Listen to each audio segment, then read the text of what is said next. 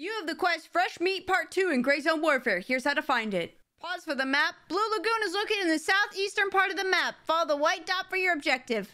This quest is key locked by the Blue Lagoon Shack key. You're going to find it on the dead enemies in the area in their pockets and bags. With the key, you open the back end of the abandoned shack and just enter the room.